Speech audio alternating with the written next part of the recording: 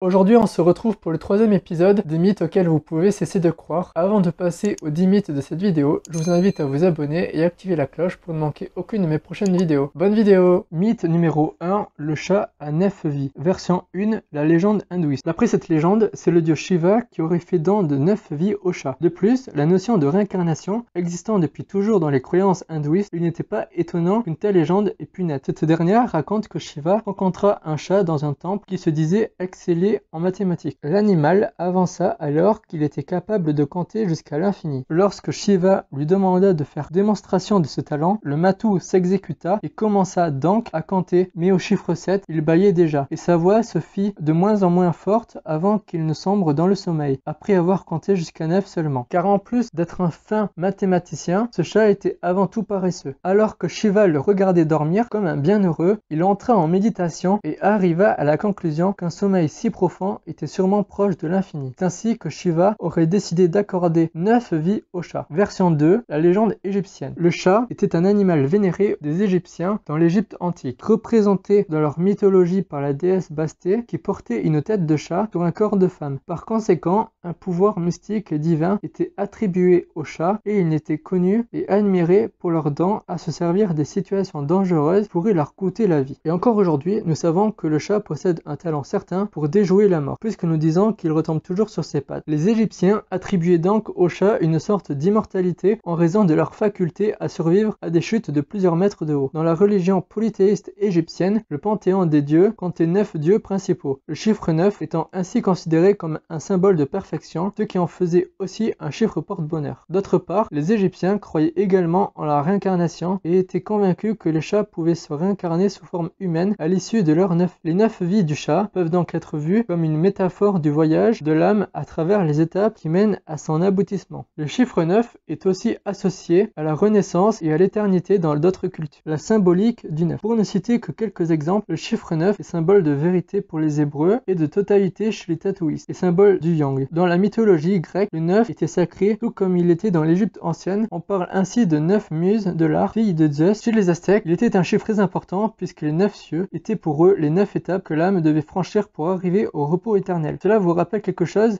La Bible contient également plusieurs références au chiffre 9, comme le fait que, le Christ soit mort à la neuvième heure. Il symbolise en outre la finition et l'accomplissement en tant que dernier chiffre simple. Et il est aussi considéré comme le nombre de l'homme, car il renvoie aux 9 mois de gestation humaine et donc à la naissance et à la vie. Enfin, en plus de ses attributs symboliques, le 9 possède une caractéristique mathématique étonnante. Les multiplications par 9 donnent toujours un résultat dont l'addition des chiffres obtenus a pour résultat 9. Par exemple, 9 x 5 égale 45. 4 plus 5, 9. Le caractère magique du chat est ainsi attaché à signification mystique et ésotérique, issue pour la plupart de croyances païennes ancestrales remontant souvent à plusieurs millénaires. Plusieurs vies oui, mais pas toujours neuf. Si on entend souvent parler de neuf vies du chat, on raconte qu'il en a sept dans certaines cultures, comme en Italie, en Grèce, au Brésil et dans certaines régions d'Espagne. En Turquie et dans les pays du Moyen-Orient, il est dit en revanche que les chats ont six vies. Dans tous les cas, cet animal reste associé à des nombres symboliques puisque le 7 est vu comme un chiffre porte-bonheur et le 6 est également présent dans plusieurs textes sacrés comme la Bible et le Coran. Mythe numéro 2, les éléphants ont peur des souris. L'éléphant aurait peur des souris ou des petits rongeurs en général parce qu'il pourrait se coincer dans sa trempe. Cette idée émane d'un vieux mythe déjà connu du temps de la Grèce antique. Aujourd'hui, on ne saurait dire d'où vient précisément cette légende. Il est possible que son but premier fût de démontrer le postulat plus général disant que les petites bêtes ne mangent pas les grosses, comme pour l'histoire de David et Goliath. Quelle que soit son origine, comme souvent dans les légendes urbaines, il y a peut-être un fond de vérité. L'idée des souris coincées dans sa trempe de l'éléphant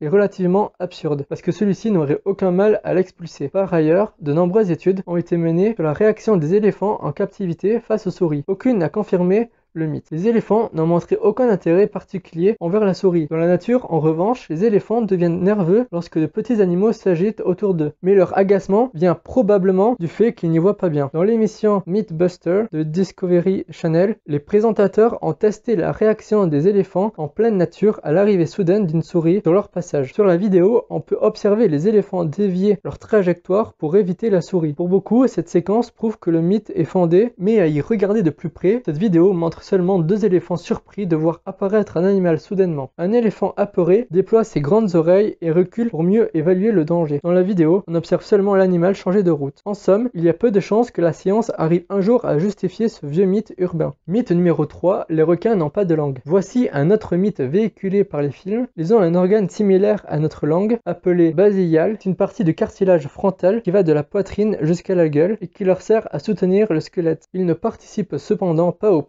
d'alimentation. Mythe numéro 4, les mouches ne vivent que 24 heures. Souvent détestées par leur petit côté agaçant, les mouches sont pourtant partout. Et non seulement elles rentrent dans nos maisons comme si elles étaient chez elles, mais en plus elles transportent de nombreuses bactéries qu'elles déposent ensuite sur les aliments sur lesquels elles se posent. Dans ce cas, on en vient à souhaiter leur mort. Mais on se dit qu'au final, ces pauvres insectes ne vivent que 24 heures. Mais qu'en est-il vraiment? La mouche domestique ne naît pas mouche. Elle prend d'abord la forme d'un œuf pendu sur des écréments, le plus souvent parmi une centaine d'autres œufs. L'œuf éclot ensuite au bout d'environ une journée, 8 à 20 heures plus pour être plus précis. Il se transforme alors en larve et va rester ainsi pendant à peu près une semaine. Ensuite, la larve se transforme en pupe, c'est-à-dire qu'elle s'enferme dans une sorte d'enveloppe rougeâtre durant 3 à 10 jours, période durant laquelle ses ailes vont se développer. Enfin, la mouche telle qu'on la connaît s'extrait de la pupe et peut vivre ensuite pendant 15 à 21 jours. En tenant compte de son cycle de développement, la mouche a donc une espérance de vie d'environ un mois. Si l'on se base uniquement sur sa vie adulte, la mouche vit en moyenne 19 jours. Mythe numéro 5, 7 ans humain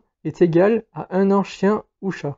Comme le montre ce tableau, l'âge des chiens et des chats en âge humain est irrégulier. En multipliant par 7, nous avons une estimation de l'âge de l'animal, mais 7 ans humain n'est pas égal à 1 an chien ou chat. Mythe numéro 6, dominer son chien pour qu'il t'obéisse. Si un professionnel vous donne un de ses conseils, changez vite d'éducateur pour quelqu'un de plus compétent. 1. Il faut toujours manger avant son chien. Faux. Nourrissez votre chien à horaire fixe. Si votre chien contrôle son appétit et n'a pas de problème de santé ou de comportement particulier, vous pouvez même lui laisser ses croquettes à volonté. 2. Le panier du chien doit être à l'écart pour qu'il ne surveille pas vos va-et-vient. Erreur. Mettez le panier de votre chien là où il aime être. Pensez à son confort. Préfère-t-il être dans un endroit calme ou alors aime-t-il votre compagnie? La plupart des chiens passent leur journée seuls pendant que vous êtes au travail. Ne le privez pas de votre présence en cachant son panier au fin fond de votre maison, loin de vous. Si votre chien est allongé sur votre passage, ne l'enjambez pas, obligez-le à se déplacer. Inutile, sauf si vous aimez déranger votre chien quand il est confortablement installé. 4. Caressez votre chien sur le dessus de la tête, il comprend ainsi que vous le dominez. Nos chiens préfèrent être caressés sur le poitrail, le ventre, il est outrant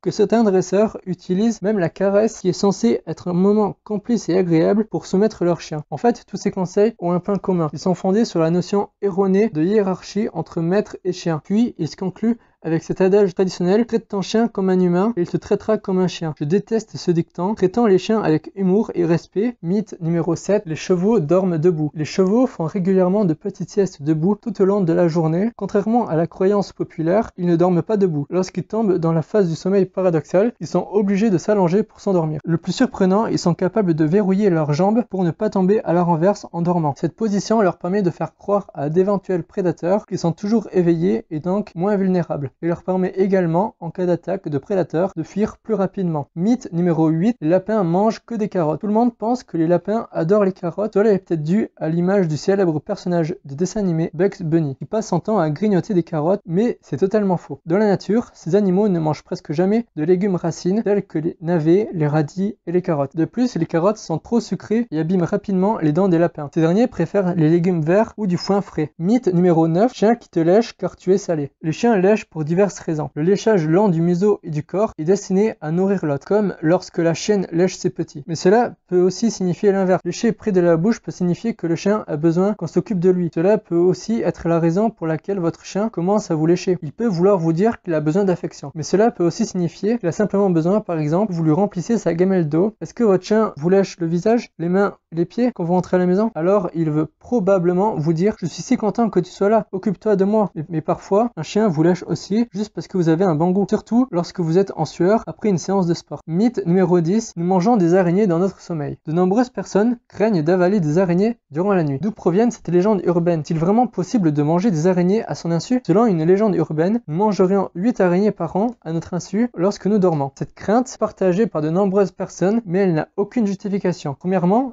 est très sensible aux vibrations et n'approcherait pas volontairement une personne endormie. Deuxièmement, il faudrait que vous dormiez la bouche ouverte, ce qui n'est pas le cas de tout le monde et si c'est le cas, vous ronflez sûrement. Et les araignées n'aiment pas le bruit. Troisièmement, il est peu probable qu'elles s'aventurent dans un orifice exhalant de l'air chaud. Quatrièmement, il faudrait qu'elles restent suffisamment longtemps dans votre bouche pour que vous ayez le réflexe de l'avaler. En somme, les chances d'avaler une araignée pendant son sommeil sont donc proches de zéro. Cette histoire aurait été inventée par la chroniqueuse Lisa Holst dans un article du magazine allemand PC Professionnel publié en 1993. Celle-ci avait imaginé plusieurs anecdotes et histoires bidonnées afin de démontrer la crédulité des internautes, dans celle des araignées avalées par les dormeurs, l'heure ainsi pendant la nuit. Il est certain en tout cas qu'on ne retrouve nulle part la trace d'une étude scientifique affirmant que l'on mange 8 araignées par an. Et n'oubliez pas que toute vie mérite d'être protégée.